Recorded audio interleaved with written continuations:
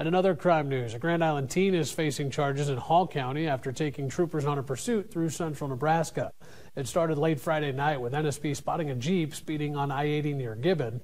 The vehicle pulled over, but then took off when the trooper got out of his cruiser and that Jeep fled in excess of 100 miles per hour while turning off all of its lights. Another trooper did successfully slow the vehicle down just outside of Grand Island before a trooper also brought it to a stop with a tactical maneuver.